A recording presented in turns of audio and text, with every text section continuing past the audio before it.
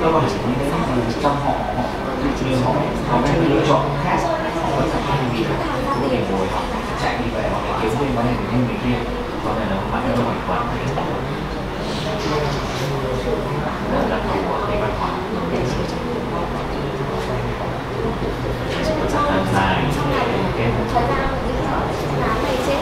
Okay, let's go.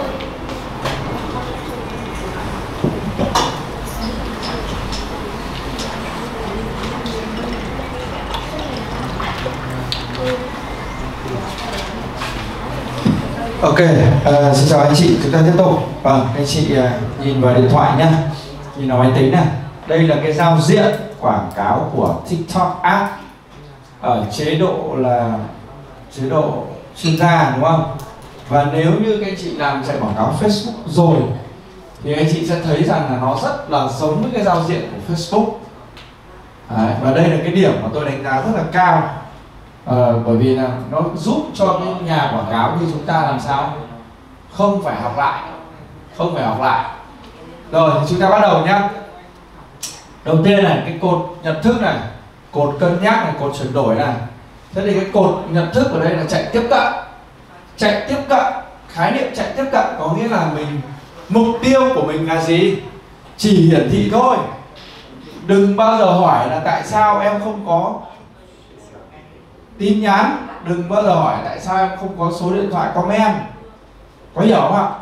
Đây chính là phương pháp mình có thể hình dung ra là đây chính là phương pháp đi phát tờ rơi. Đấy.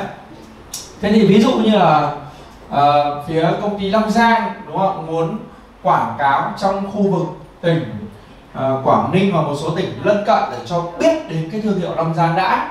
Tức là biết thôi không bán chắc gì cả. Thì bây giờ có thể chạy dạng tiếp cận chạy dạng tiếp cận, nhá. Buổi chiều có một số anh chị ờ, yêu cầu là sẽ học Facebook. Thì buổi chiều tôi sẽ hướng dẫn chạy quảng cáo Facebook lại. Thì cái giao diện nó cũng gần giống như này. Và cách tôi giải thích thì nó vẫn gần giống như thế. Bởi vì nó chỉ khác nhau về nền tảng thôi. Còn cách thức là mà thằng thằng thằng TikTok nó mà lại đang đi học của thằng Facebook.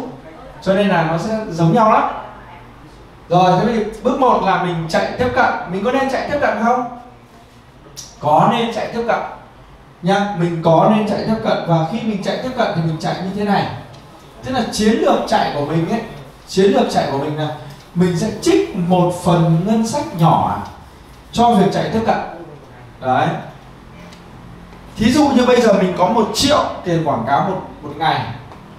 Đấy, thì mình thường ấy là mình sẽ chạy một triệu hết cho uh, chạy ví dụ như là chạy chạy chuyển đổi hoặc là chạy truy cập, chạy hết, thì lời khuyên của tôi là không nên như vậy. Mà mình nên, ví dụ như là có thể trích từ 50.000 đến 100.000 cho chạy tiếp cận. Đấy. vì quan điểm của tôi là gì? Cho người ta biết đến thương hiệu đã. Đấy. kiểu giống như là bây giờ là đi phủ tờ rơi, sau đó mới bắt đầu là gì? Chạy lại một lượt. Đấy. thì cái ngân sách của mình mình trích nhỏ thôi bây giờ bảo 50 nghìn một ngày thì một tháng thì triệu rưỡi hai triệu kiểu kiểu như thế. Tất nhiên đây là tôi đang nói về góc độ là làm ở trên Facebook ấy, thì nó có ngân sách thấp như này. Còn trong TikTok thì nó không có ngân sách thấp như này. TikTok ngân sách tối thiểu của nó là 200 nghìn một ngày. Thế thì bây giờ một tháng mình chạy hết một triệu rưỡi vậy thì thì mình chỉ phủ 7 ngày thôi. Mình chỉ phủ 7 ngày thôi xong mình nghỉ đúng không? Và sau đó thì mình lại tiếp tục mình chia ngân sách ra. À, lúc này mình phải chia ngân sách theo tuần hoặc theo tháng. Còn chia ngân sách theo ngày thì phải là 200 nghìn một ngày. À, cái thằng này là một thằng nó là một cái nhược điểm. Nó không được linh hoạt như Facebook. Facebook là ngân sách của nó tối thiểu một ngày là một đô la tương đương với khoảng 24 nghìn. Đó. Rồi thì bên cái cột cân nhắc này thì nó có lưu lượng cài đặt sự lượt xem và tìm kiếm hàng tương tác với cộng đồng thế thì trong cái cột cân nhắc này là cái cột mà hầu như mọi người sẽ chạy nhiều là chính. Bao gồm này thứ nhất là chạy lưu lượng đưa nhiều người hơn tới một vị trí trên trang web hoặc một ứng dụng của bạn. Thì chắc chắn là hầu như mọi người sẽ sẽ chạy truy cập vào web chứ còn ít khi mọi người chạy truy cập vào ứng dụng. Trừ khi là chúng ta là một cái doanh nghiệp lớn và chúng ta có ứng dụng. Ứng dụng ở đây là gì? Chẳng hạn như là à, bọn một cái đơn vị mà nó làm à, giao vận chẳng hạn đúng không? Nó muốn mình cài cái app đấy hay là bọn grab đúng không? Nó muốn mình cài cái app đấy. Thì mình chạy quảng cáo trên tiktok để cho người ta cài cái grab app ở trên điện thoại người ta. Còn hầu hết các anh chị trong lớp mình à, 30 người đang ngồi đây thì tôi khẳng định rằng là các anh chị sẽ chỉ có chạy truy cập web thôi. Mà muốn chạy truy cập web thì bắt buộc chúng ta phải có gì? Phải có web. Muốn chạy truy cập web thì đương nhiên là phải có web. À, thí dụ như là nhà hàng abc.com đúng không? Nhà hàng xyz.vn à, hay là thép long giang.vn hay là à, yến thiên tiết.vn thì cái này bắt buộc chúng ta phải có trang web. Và khi quảng cáo của chúng ta hiển thị ở trên tiktok người ta xem quảng cáo xong người ta sẽ chạy về gì? Chạy về trang web. Chạy về trang web ok? Thế còn chạy về trang web để làm gì? Thì trên đó phải có thông tin rằng là ví dụ như quy mô nhà máy của tôi bao nhiêu, sản lượng bao nhiêu nghìn tấn, bao nhiêu triệu tấn một năm. Đấy, chúng tôi có những dòng sản phẩm gì, chúng tôi tìm kiếm nhà phân phối trên toàn quốc. Chúng tôi tìm nhà bán lẻ, tìm đại lý trên toàn quốc, vân vân, đúng không? Để có những cái thông tin như thế mình phải viết theo thứ tự từ trên xuống dưới, kèm hình ảnh, kèm video, kèm các cái form liên hệ, vân vân. Thế sau đó thì mình mới chạy vào cái đường link đấy mục đích là để làm gì? Từ tiktok nó dẫn về web và từ web nó ra form. Và sau đó thì mình mới mail, mình mới telesale, mình mới hẹn gặp cà phê, mời làm việc và mình mới chốt được đại lý. Có đúng không ạ? Bất động sản cũng làm như vậy được, nhá. Bất động sản thì mình không đăng được lên tiktok shop thì mình sẽ làm một cái dự án, ví dụ như là đất nền quảng ninh vn, đúng không? Chuyên phân lô bán nền. Đấy thế giới là có người thay đổi ờ, ở thế giới là các doanh nhân là làm là có có chiến lược gọi là thay đổi thế giới. Còn Việt Nam là các doanh nhân là thay đổi mục đích sử dụng đất. Đấy. người ta nói là doanh nhân thế giới thì chuyên thay đổi thế giới. Còn doanh nhân Việt Nam là chuyên thay đổi mục đích sử dụng đất. Rồi thế thì mình đưa lên trên đấy mình có bắt đầu mình chia nhỏ ra. À, huyện này huyện này huyện này đúng không? Làm cái trang web có 20 cái huyện. Thế bất động sản à, Hạ Long bất động sản à, Quảng Yên bất động sản uh, từng huyện của mình. Thế sau đó bắt đầu mình nhấp nhấp nhấp vào. Có dự án này đang phân lô bán nền giá bao nhiêu tiền một nền bao nhiêu tiền một mét. Và số điện thoại rồi thì Zalo rồi thì Facebook là cài khắp nơi. Trên cái web đấy đúng không? Cài khắp nơi bốn chỗ.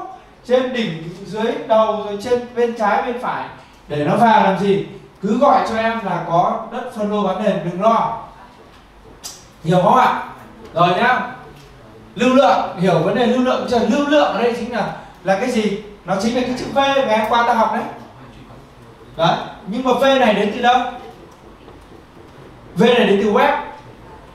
Đúng không? Lưu lượng, rồi. Càng ứng dụng thì nếu mà các anh chị có app thì anh chị mới xài, không thôi. Số lượt xem video nhận thêm nhiều lượt xem video tương tác trong video quảng cáo bạn thì cái loại này chúng ta sẽ cần có video. Kênh. Vâng. Đấy, kênh của ta và ta có một con video nào đó. Cái con video này ta nói về công ty nói về sản phẩm nói về chương trình bán hàng nói về uh, cái việc là tôi đang tuyển đại lý nói về tôi đang tuyển nhân sự nói về tôi đang bán khóa học. Whatever. Nhưng mà nói cũng phải gì? Hay hấp dẫn đúng không? Đấy. Rồi phải nhạc nền nó cũng phải tươi vui một tí. Có những cái hình thức nó phù hợp để làm sao cái nội dung nó càng chất thì video người ta càng xem nhiều thì giá thầu nó sẽ càng gì? Càng rẻ. Hiểu chưa? Vậy nếu muốn làm được cái này thì bước một nó phải sản xuất một con video. Đúng không? Chị uh, bên Long Giang muốn quảng cáo thì bây giờ là gì? Thuê ba em chân dài xinh tươi như hôm qua thầy bảo, đúng không? Thầy suốt ngày em chân dài xinh tươi. Làm gì? Nhảy, đúng không? Nhảy thật đẹp trong ờ, nhà nhà máy của mình. Tất nhiên là trước khi làm thì mình phải tính toán, xin ý kiến ban giám đốc. Thế là lau chùi rồi dọn dẹp, nhà máy rất là sạch đẹp, đúng không? Thế còn bắt đầu là hôm nay là tất cả công ty phải đi làm đầy đủ cho công nhân nó làm dầm dập dầm dập dầm dập thế thế là có hai em nó cứ nhảy nhót tung tăng uh, nhảy nhót hát ca quanh nhà máy. Thế bắt đầu nó quay một cái video khoảng 2 phút. Đúng không ạ? 3 phút rất đẹp. Đấy, mọi người vẫn cứ làm lao động.